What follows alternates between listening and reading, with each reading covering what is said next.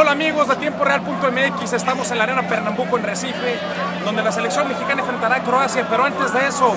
Costa Rica acaba de enfrentar a Italia y le acaba de ganar 1-0 y obviamente el optimismo entre los ticos está desbordado, todos están contentos, felices de que su selección está haciendo un muy buen mundial. Y vamos a ver cómo se vive el color en Tiempo Real.mx.